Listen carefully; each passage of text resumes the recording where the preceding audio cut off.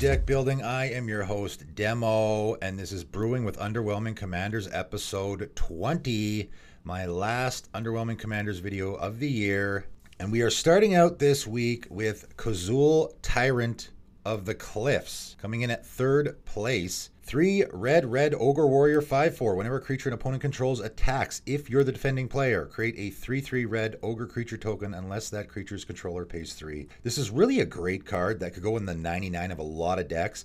It's sort of a pillow fort card in red, which is really, really interesting. I think it's a great card. I think it's a great commander. It is a little underwhelming, obviously, because you sort of want your opponents to attack you, which isn't always the best strategy in a deck. You know, I'm going to be a little lazy here. I'll be honest. It is the holidays, so I'm going to take a bit of a shortcut here. I think this is a perfect commander for all of those crazy red enchantments that deal with combat. I already made this video. You can go check it out if you want just wacky red enchantments that the majority of them fit into a combat style. Grand Melee obviously is just an absolute perfect fit in this deck because you want to encourage attacking. Probably want to also encourage blocking as well. Heat Stroke also works here, right? If you block with your Ogre tokens and they die, you don't really care because you're going to be getting more anyway. Your opponent's creature is also going to die, right? Your opponent attacks with their big creature. They got to pay the three because if they don't, you're going to create the Ogre token that's then going to block their creature and then both are going to die.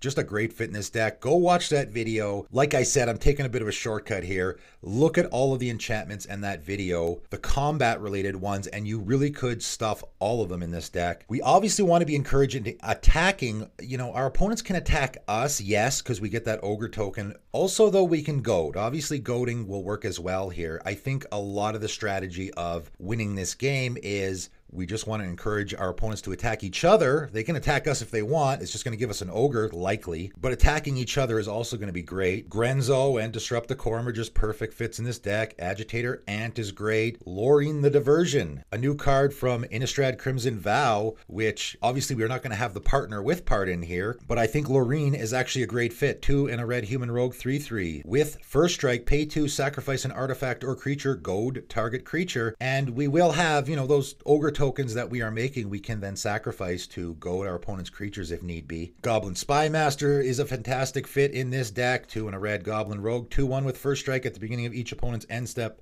That player creates a 1 1 red goblin creature token with creatures you control attack each combat in a Fable. So, again, we want to be doing that. Also, want to be giving our opponents those creatures, right? If they attack us with the 1 1 goblin that we gave them, they're not going to pay the 3, likely. We'll make our 3 3 token and then probably just take the 1, right? We will take the 1 damage because we don't want to block it because we want them to keep that token so that they have to keep attacking every turn. I also like Relic Robber in here. Don't forget, if you're goading your opponent's creatures or forcing them to attack every turn, it leaves them open, right? So you can get in for damage really, really easily. Relic Robber is a great fit here. Two in a red, Goblin Rogue 2 2 with haste When it deals combat damage to a player, that player creates an 01 colorless goblin construct artifact creature token with this creature can't block. And at the beginning of your upkeep, this creature deals one damage to you. So we can be getting in on this. It's just extra little chip damage that we can have every turn. Also gives our opponent uh, that 01 creature that they then have to attack with, with all of our goading type effects or grand melee or whatever. And again, if they attack us with it, that's okay. We'll make an ogre token and just not block the 01 because it's not going to do any damage anyway. I think the Akroan War is a great fit here. Three in a red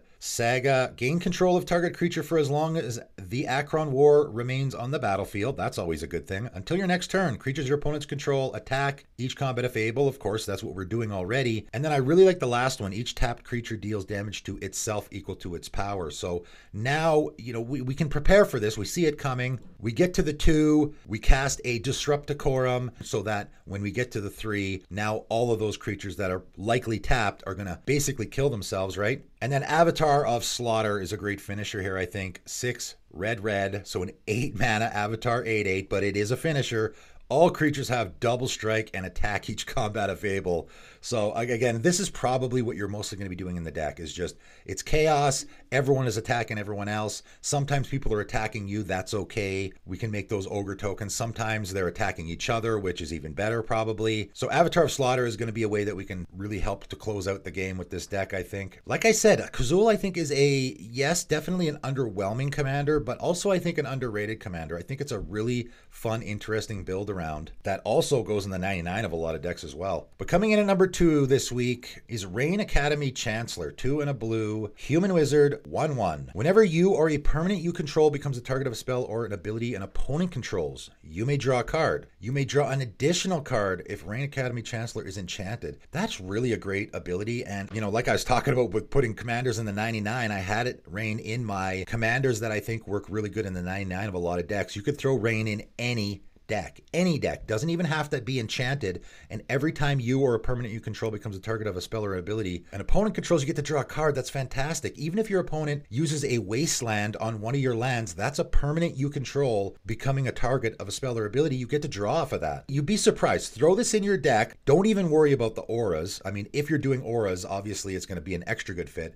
But just I throw this down, and every single time me or a permanent I control becomes targeted, I get to draw. It you really get a ton ton of value off of this, I think. It's a really interesting commander. I absolutely love the art. I'll just say that. Matthew Wilson is one of my favorite artists. He did a lot of art from Urza's Saga block. Love the art. Always love the commander. This is one that, again, I cracked open in packs back in the day. Wasn't really sure what to do with it. But now we have this fantastic format called Commander where we can build around this card and try to make a deck out of it. But again, it's, it's it's a difficult one, right? We want essentially our opponents to target our permanents, which there really isn't a way to build your deck around that. Like you, every time you have a commander where you're relying on your opponents to do stuff, it can be tough. Fortunately for us, you know, our opponents targeting our permanents is going to be sort of a foregone conclusion. It's it's a highly unlikely that we can go a whole game without our opponents doing that. Obviously, though, if we're going to actually build around a theme here, it has to be the aura theme to begin with, right? We got to throw some auras in this deck. You can throw whatever your favorites are in here. Protection auras are going to be good. Like Curator's Ward, I think, is a great fit here. We could throw it on our commander because our commander is probably the only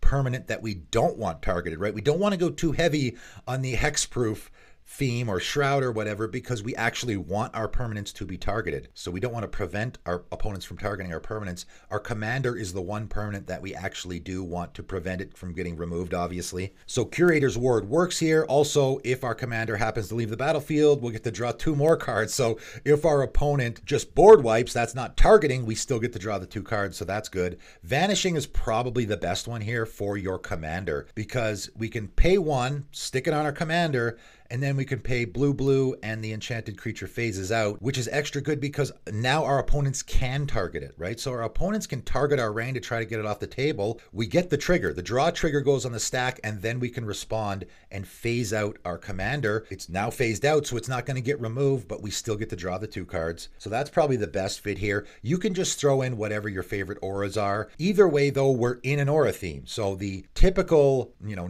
not that there's a ton of them, but mono blue aura cards fit in this deck. I really like Thran Golem. As long as it's enchanted, gets plus two, plus two, and has flying first strike and trample. So again, we could just throw any enchantment on this guy, and he's going to become a 5-5 flying first strike trample creature. I think that's pretty good. Rootwater Matriarch is great. Two blue, blue Merfolk, two, three. We can tap to gain control of target creature for as long as that creature is enchanted. So we can just throw any of our enchantments on one of our opponent's creatures and then gain control of it. Rootwater Shaman, just a, an auto include if you happen to be in one of the rare situations where you're in a mono blue or even just any blue aura theme, because now you can cast your aura spells with Flash and Hakim Loreweaver, another great fit here, another mono blue card that's dealing with auras. I did an underwhelming commanders video with Hakim already. I threw Rayne in that deck. These guys go in each other's decks, obviously. All these other mono blue aura cards I also threw in there. You're going to have a lot of overlap there. So you can also go check out what I did with Hakim in that video, because there's going to be a lot of overlap, obviously, because you're in mono blue dealing with auras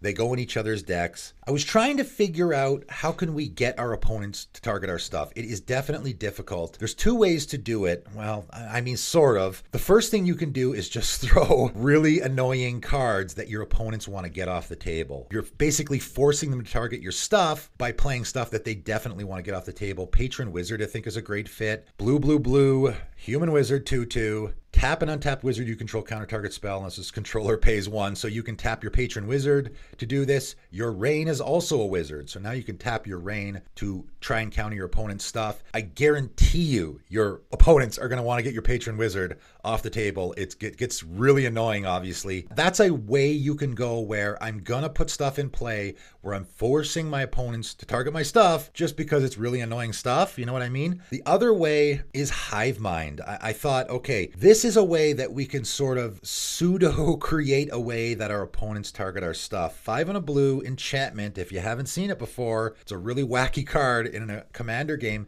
Whenever a player casts an instant or sorcery spell, each other player copies that spell. Each of those players may choose new targets for their copy. So when they create the copy, they control that copy. That's their copy of the spell on the stack. They're choosing new targets for it. So if we cast, say, a rapid hybridization, all of our opponents get to now copy that spell. They're getting their own copy that they control and they choose new targets for. So now they can target our stuff with it. And this to me is a win win situation for us where, okay, now our opponents can target our stuff with their copies of rapid hybridization.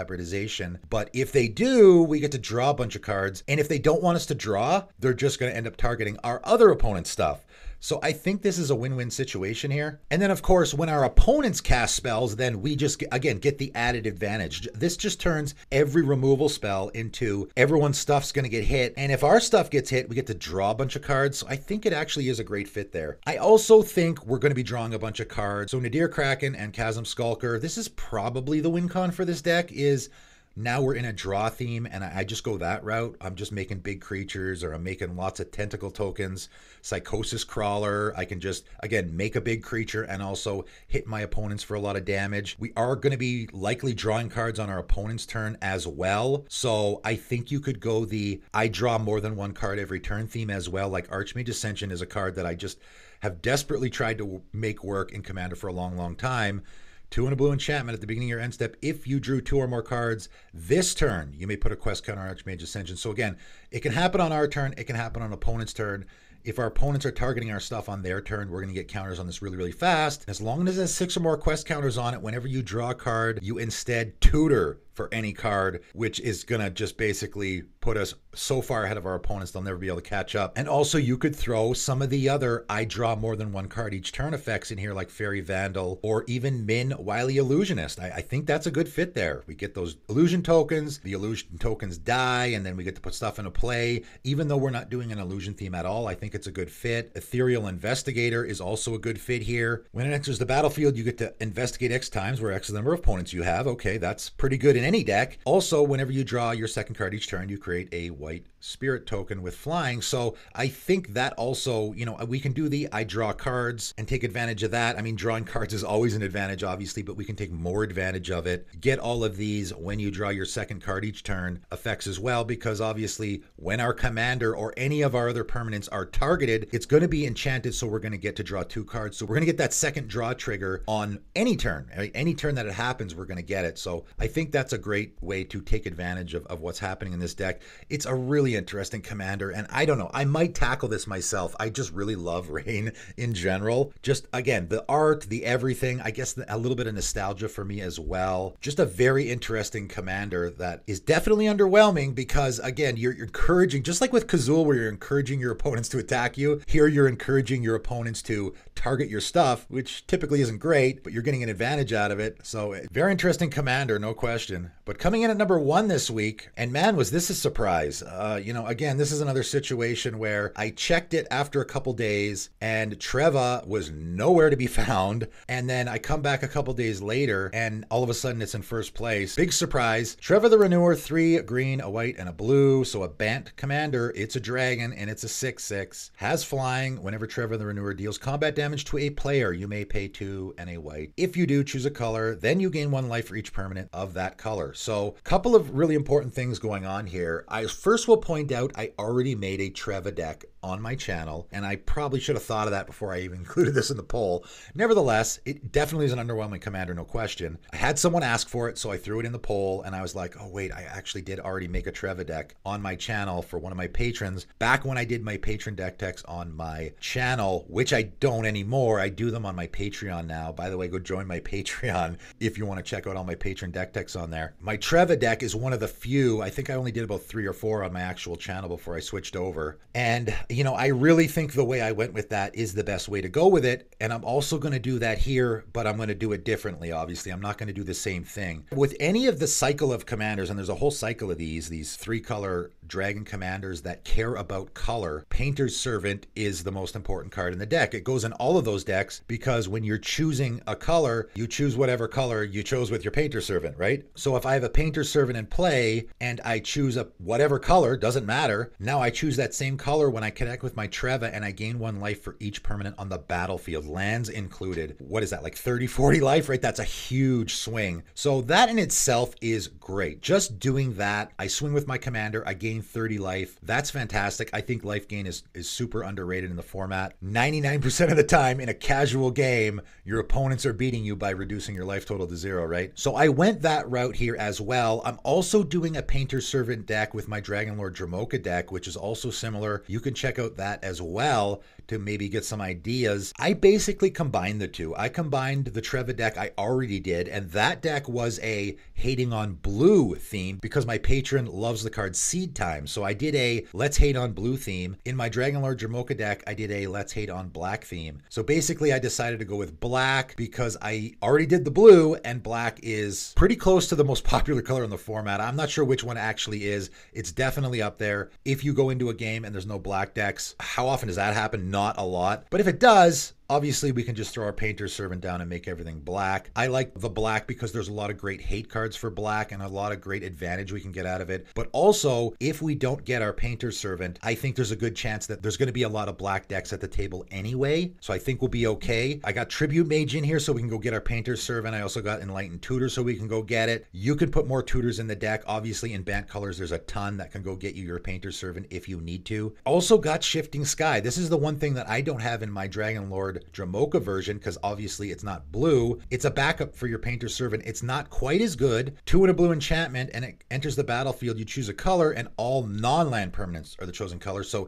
it's not going to change all the lands into that color, only the non-land permanents. Still pretty good, still going to work really great as a backup in this deck. I also got Distorting Lens and Blind Seer. Both of these are one-shots that will also work as backups. Distorting Lens only changes a permanent into that color. Blind Seer can turn a spell or permanent, which can be significant because if our opponent casts a spell we don't like, we can now change that into black, right? We're going for black here. That's the color we're hating on. And then use something like, say, Life Force to pay green and a green and counter target black spell. So we can change it into a black spell and then counter it with our life force or counter it with our order of the sacred torch. We want everything to be black so that all of these cards work really, really well. But also, if we just happen in a situation where there's a lot of black decks, man, maybe we don't even need to use our painter servant at all. Reap and compost again are just fantastic fits here. Uh, other cards that I have in my Dragonlord Dromoka deck, and other cards that I think you could put in any deck. I think you could put Reap and compost in any deck and they'll be pretty good, especially if you're in your play group that plays a lot of black cards, right? So, talked about these cards a lot in my color specific video where I talk about cards that mostly are dealing with black, blue, and green because those tend to be the most popular colors in the format. And so, if you put them in any deck, you should be okay. Pygmy Kavu, I love. Again, I have this combo in my Dragonlord Dromoka deck where I turn everyone's creatures into black creatures, and then when it enters the battlefield, I get to draw a card for each black creature my opponents control. So, in other words, I draw a card for each creature my opponents control. Five, six, ten cards. You can get a lot of cards off of this guy. Mystic Enforcer is another personal favorite of mine. Two green and a white. Human Nomad Mystic, 3 3. Protection from black. So again, if everything's black, this has protection from everything. And if we have Threshold, it's going to get plus three, plus three, and flying. So it is a 6 6 flyer with protection from everything. That's pretty darn good. I threw Dreams of the Dead in here. This is another really fun, interesting card. I thought maybe we could even take advantage of our stuff being black as well. This is just a great card that I think can go in a lot of decks. It's weird because it's a blue enchantment that references white or black cards. So you can pay one in a blue and return target white or black creature card from your graveyard to the battlefield. That creature gains cumulative upkeep two. If the creature would leave the battlefield, exile it instead. Great way to get value out of ETB creatures. I talked about this on my 10 cards videos already. All of our creatures are going to be black as well if Painter Servant is in play. So this just allows us to get any creature out of our graveyard for two mana. I think that's pretty good. Elephant Grass and Teferi's Moat also going to be fantastic here. Elephant Grass, black creatures can't attack you. So if all creatures are black, we just can't be attacked. Teferi's Moat, we can name a color. Of course, we'll name black, but we can choose other colors. Again, depending on what's going on in the game, if we don't have our Painter Servant, if everyone you're playing against has a green deck, maybe you can pick green here. Creatures of the chosen color without flying can't attack you. So again, ideally we want to have our Painter Servant choose black, and then we just can't be attacked at all except by flying creatures. Or if whatever situation arises, maybe we might want to pick another color. Chameleon Spirit and Psychic Allergy also here. Ideally, Painter Servant we choose black, but if we don't have our painter servant or if there's a, a abundance of other colors on the table with our chameleon spirit, we can choose maybe green or white even, and it's going to have power and toughness each equal the number of permanents of the chosen color your opponents control. So again, with the painter servant, that's lands included. This guy can be like a 30-30 or a 40-40. And psychic allergy, I just really love. It's such a weird card. It has some of the weirdest art I think I've ever seen. Three blue blue enchantment as it enters the battlefield. Again, you get to choose a color.